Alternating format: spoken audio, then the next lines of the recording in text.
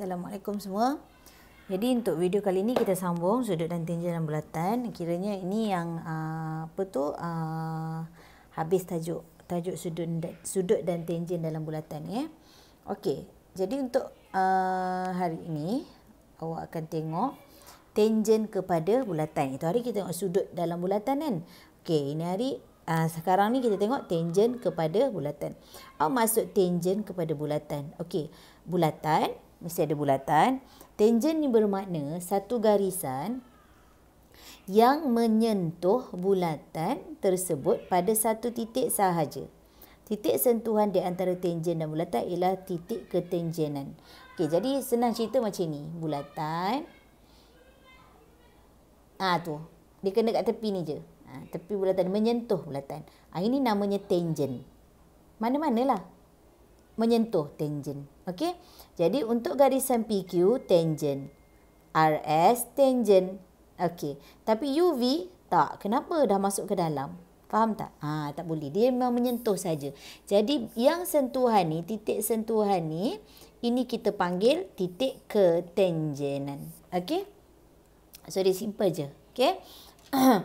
Okey, jadi ada satu lagi konsep dalam tangent ni. Bila satu bulatan ada tangent tepi dia, katakan ada ni contoh ni buat contoh ni dia buat di sebelah kanan. Okey, katakan saya buat di bawah. Tangent ke tak ni? Bagus. Kenapa dia tangent? Sebab dia menyentuh menyentuh apa? Menyentuh bula bulatan, menyentuh menyentuh di satu titik sahaja. Jadi, ada dari okey kalau saya letak tengah-tengah ni maknanya apa ni pusat bula bulatan kalau pusat bulatan saya gariskan ke lilitan namanya apa pusat pergi lilitan. Namanya jejah apa dia? Jejari, betul tak? So jejari ini bertemu dengan tangent dia akan menjadikan sudut 90 darjah. Nampak tak tu? Ah, jejari satu bulatan yang bersilang dengan tangent kepada bulatan pada titik ketangenan. Titik tu maknanya yang menyentuh. Itulah yang tengah-tengah tu. Okey? Membentuk 90. Jadi kalau sebelah 90, sini pun mesti 90 lah. Sebab dia satu garis lurus. Faham? Okey, tengok contoh 15. Ada tak tangent dekat sini? Okey, ni bulatan. Okey. Bila bulatan, kita dah belajar sudut-sudut dalam bulatan macam tak ada kat sini kan. Kita belajar banyak sebelum ni tu. Okey, sekarang yang awak nampak adalah garisan AC. Garisan AC ni garisan apa? A pergi C ni. Ini dinamakan garisan tangent. Faham tak? Jadi bila ini dinamakan garisan tangent, awak tengok pusat, ada satu garisan ni namanya jejari. Faham tak? Okey, kalau gerak lagi ke ke sini namanya diameter. Okey, sekarang saya nak jejari je. Jadi daripada pusat pergi B ni, ha, ni titik ketangenan lah sebab dia ada garisan tangent. Jadi bila pusat pergi B dia namanya jejari. Sudut di sini automatik berapa puluh? 90. Faham? Okey. Sekarang yang awak nampak adalah satu segitiga. Okey, saya besarkan. Yang awak nampak adalah satu segi tiga. Satu segi tiga awak sini sembilan puluh. Faham? Selebihnya kat sebelah belakang ni seratus tiga lapan. Boleh tak cari sebelah? Bagus. Apa yang awak buat cara nak cari sebelah? Seratus lapan puluh tolak seratus tiga lapan. Awak akan dapat berapa? Empat puluh dua. Betul? Jadi sini empat puluh dua. So boleh tak awak cari nilai X? Ha, bolehlah kan? Automatik. Macam nak cari nilai X? 180 tolak 90 tolak 42. So nanti awak akan dapat jawapan. Faham? Ya? Yeah? Okay, next. Jika dua tangent kepada satu bulatan berpusat di O dengan titik ketangenan B dan C, sudah faham eh? Titik ketangenan. Okey, semua dah faham dah. Iaitu uh, satu titik yang bertemu dengan uh, satu titik di lilitan bulatan tu. Ini eh tak bulatan ini. Jadi garisan sepanjang-panjang ni sampai A tu kita panggil sebagai tangent. Faham eh? Jadi masing-masing bertemu di A maka BA sama dengan BC. Betul lah kan nampak ni? BA, BC. BOA. Apa maksud ni? Sudut BOA. Sudut O. Sudut O. Mana sudut O? Sini. Jadi BOA sama dengan COA. Faham? Okey. Sudut sini pula A. Sudut A yang tengah-tengah eh. A. Jadi sudut A dua-dua ni mesti sama. Faham? BAO sama dengan CAO. Jelas? Okey, tengok contoh. Bila dia kata tangent PQ dan RQ bertemu di Q kat sini, hitung nilai X. Macam mana nak cari nilai X? Okey. Apa yang kita belajar tadi? Garisan tangent PQ ni garisan tangent tau. Ha, dia tak dia tak panjang. Jadi kita anggap dia panjang kalau macam tu alamak dah termasuk dah si punya tu. Okey. Jadi ini kalau garisan tangent bertemu dengan pusat bertemu dengan ini namanya jari. So automatik saya jadi berapa kelas tadi? Good. 90. Sini jadi pandai. Okey. Now sekarang sini 90, 66. Sini jadi apa? Kenapa 66 benda yang sama? Ha, sebab dua-dua ni tangent bertemu di mana? Q. Faham tak? Jadi kalau sini 66, sini 90, boleh tak cari X? Sudut apa ni? 180 lah kan? Tolak 90, tolak 66. Nanti awak akan dapat X jawapan dia berapa? Itu 80 tolak berapa tu? 90 tolak 66. Awak akan dapat 24 dx. So, X dah dapat. Okey? Apa nilai Y? Panjang Y ni. Ha, y ni jangan sudut pula panjang. Berapa ni? Faham? Bagus. Okey? Sebab dia kata sama kan? Ha, jadi, berapakah panjang jejari bulatan? Jejari bulatan ini je. Ha, ni yang tadi kita lalu. Okey. So, apa kita nak buat? Sekarang 14 kat sini, macam nak cari jejari tu? Ha, okey. Ingat lagi trigonometri sebelum ni, sokah toa. Ingat? Okey, saya keluarkan. Okey, semua tengok sini. Sini 90, sini 66, sini 14. Ini nak cari jari. Faham? Okey. Macam nak cari Sohcahtoa? Okey, sini kita panggil apa? Hypotenuse. Mesti pakai konsep trigo. Ini 90. Yang ini sudut. Berhadapan dengan sudut kita panggil apa? Opposite. Bagus. Ataupun bertentang dengan. Jadi selebihnya yang tanda soal ni kita panggil apa? Bersebelahan ataupun adjacent. Faham? Jadi kalau kita nak cari tanda soal ni, rumus apa yang kita boleh pakai? Ha, apa-apa je lah. Awak nak pakai AH ke? Tak boleh sebab hypo tak ada. Ha, tak boleh. Awak pakai apa? A dengan O sebab 14 ada. Jadi A dengan O kalau kita pakai so kahtoa jadi A dengan O apa ni? Ten tangent. Jadi tangent 66 bersamaan dengan rumus O per A. Tangent 66 sama dengan O 14 per tak tahu. Kita letak apa biasanya? Huruf apa? Tangent 66 sama dengan 14 per X. Macam mana nak cari X? X bawa ke sana. Dia akan jadi X sama dengan tangent 66. Eh sorry. X sama dengan. Bawa X ke sana. So 14. Patah balik. Tangent 66 persamaan linear. Nanti awak akan dapat jawapan dia. Faham? Ha, okay. Itu caranya macam mana nak cari panjang jejari. Ada kalanya kita pakai trigonometri, ada kalanya kita pakai teorem Pythagoras. Okey, tengok bergantung kepada soalan. Okey, next. Seterusnya adalah konsep ni. Okey, tengok eh. Konsep ni senang. Apa maksud dia kata sudut X bersamaan dengan sudut Y? Okey, kelas awak tengok ni. Ini segitiga. Okey. Yang kena pada garisan apa? tangent. So dia ada konsep-konsep khas. Okey eh. Jadi sebenarnya kelas macam sudut X yang dekat luar ni dia mesti kena tangent tau. Sudut X ni satu kena garisan segitiga, satu kena tangent. Faham tak? So ini dia akan sama dengan bertentangan dengan dia sana. Faham? Jadi automatik theta ini ni dia akan sama dengan yang sana dalam sana. Ha, jelas eh dia bertentangan. Itu jauh ingat. Okey. So katakan sudut ni, tengok ni uh, contoh 17, raja di sebelah menunjukkan segitiga KLM PMN. P eh sorry segitiga KLM. PMN ialah tangent kepada bulatan. So dah tahu kan ni tangent. Sekarang awak nampak tak ada segitiga yang kena pada tangent kan? Okey.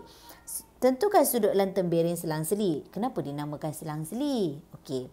Selang-seli ni bermakna kalau sudut X kat sini macam selang sini apa tak? Tapi bukan ambil sudut dia tu. Dia ambil dekat yang hujung, dekat ekor dia. Ha, okay. Dia nak punya selang seli pada tembiring. Ha, ni tembiring. Ha, jadi selang. Okey. Dia tak ada selang seli yang macam kita belajar. Uh, apa tu? Uh, apa nama tu? Ah, dua garisan selari eh. Bukan. Okey. Ha, ni lain sikit. Okey. Jadi kalau saya ingat yang bertentangan je. Okey. Tengok sudut PMM eh. K. Okay, mana PMK? PMK. PMK. Sini sudut dia. Okay, now awak decide. Yang mana sudut sama dengan dia? Yang mana sudut dalam tembiring selang-seli dia? Ingat eh, bertentangan. Jadi di mana? Sini. Faham? Ah, kalau nak buat selang-seli tu, daripada sini ke sini, jangan K tau. Ekor dia. Tembiring. Habiskan tembiring. Ah, ataupun bertentangan lagi senang. Jadi apa nama sudut tu? Nampak tak? sudut KLM. Okay. Ada yang tanya, cikgu boleh tak buat MLK? Boleh. Asalkan L berada di tengah-tengah. MLK. Boleh. Tak ada masalah. Faham? Okay. Yang kedua, NML. N, M, L. Mana sudut dia? Sini. Okay. Mana yang sama dengan dia? Saya buat dua lapis. Eh? Mana yang sama dengan dia?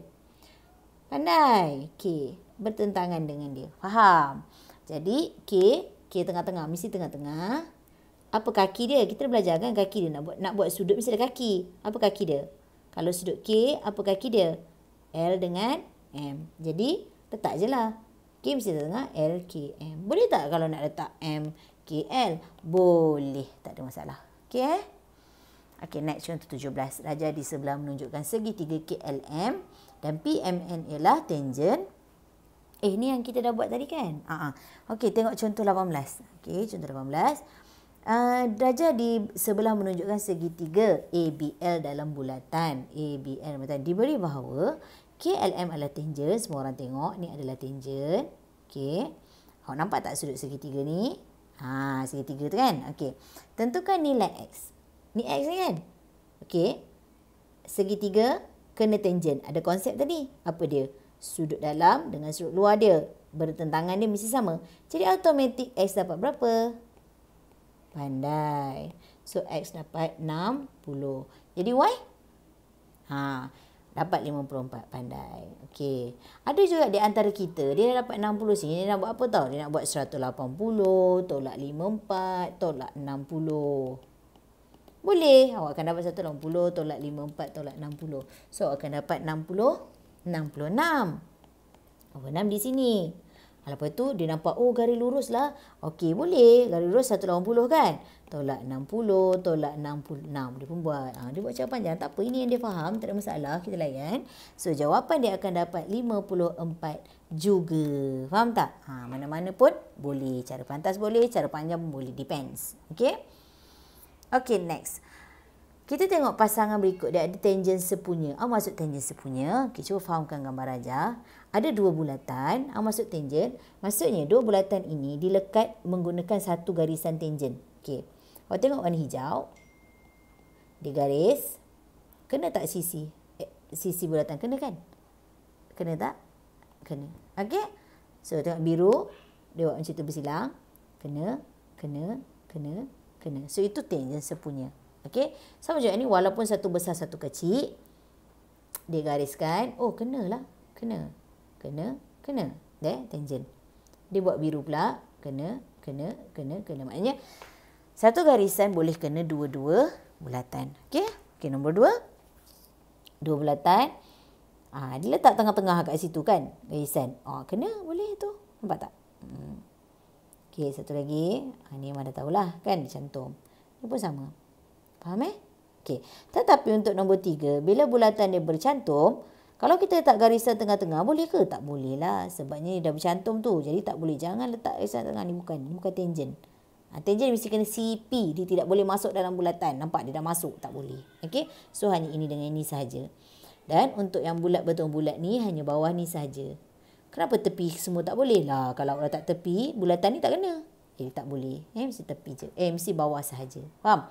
Itu bermakna tangent sepunya. Maknanya dua dua bulatan share satu garisan tangent. Faham eh? Okey, next contoh yang ke-19. Contoh terakhir saya rasa. Rajah di sebelah menunjukkan dua bulatan yang berpusat di A dan B dengan jejari 4. Okey, tahu kan? Okey, diberi PQRS adalah tangent. Nampak tak? Jadi bermakna semua orang tahu sini berapa darjah. Pandai. Okey, next lagi. Alhamdulillah. Hitung nilai X. Macam mana tahu hitung nilai X? Hmm, siapa dapat? Mana X? X adalah dia punya su sudut. Ha, macam mana nak buat?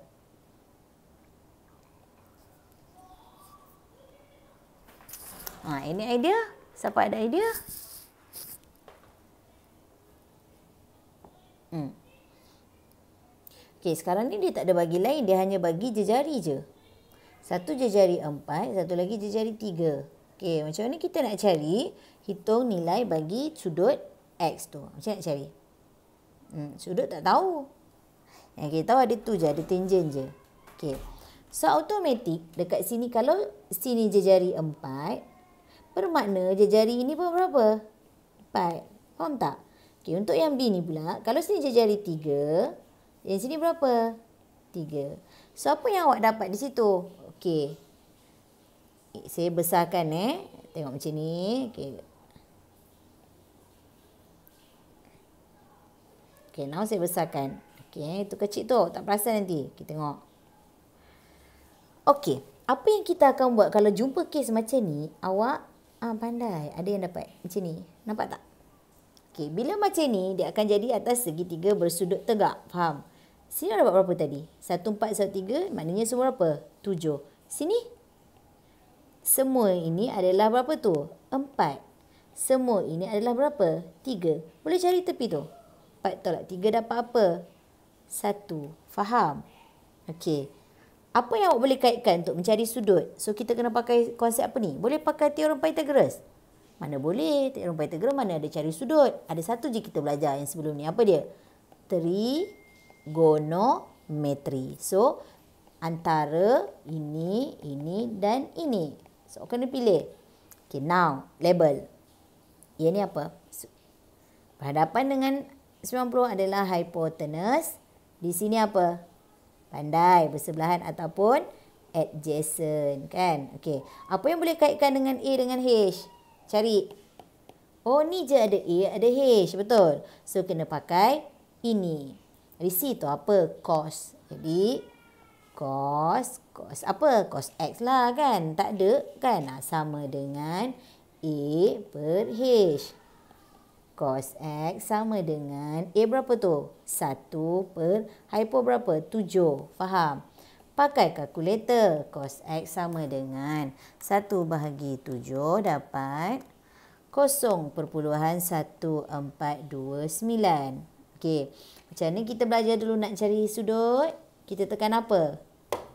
Pandai. Shift cos tekan jawapan 0.1429 tu. Tekan sama dengan. So berapa sudut yang kita akan dapat? Kelas orang cuba ulung kat tangan dengan kalkulator ke tidak? Dapat 81.79 dar darjah. Dia patutnya 786 bundakanlah okey? So ini jawapan dia jelas ha jangan kalau jumpa dua roda ni ha, macam inilah caranya okey okey So, kita cuba cabaran dinamis. Okay, now. Raja di sebelah menunjukkan satu bulatan. Hitung nilai X dan Y. So, X berapa? 40. Wrong. Betul ke salah? Okay, very good. Kenapa tak cakap 30? Pandai. Dia jawab 40 eh. Bagus. Kenapa tak 30 cikgu? Macam sama je. Ha, tengok. Konsep ini mesti lengkuk yang sama. Okay, tengok eh. 40 eh. Ni kaki 40. Eh, sorry. Ni kaki 40. Betul? Okay. Ni kaki 30 mana? Sini 30. Eh, dia tak cantum pun kat sini. Dia cantum mana? Bawah. Lengkuk dia tak sama. Tak boleh. Ah. So, kalau yang X tu? Ni kaki X. Betul? Dia cantum tak dengan yang kaki kaki 40 tadi? Oh, cantum lah. Ha, jadi, bila cantum, sudut mesti sama. Ha, jangan terpedaya. Jadi, X adalah 40. Faham? Okey, Y pula. Sudah dapat X 40. Macam mana nak cari Y? Macam mana dapatkan Y tu? Hmm.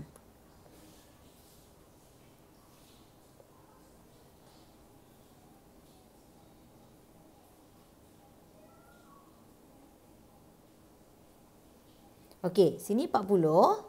Ni 30. So, Y dapat berapa? Mhm.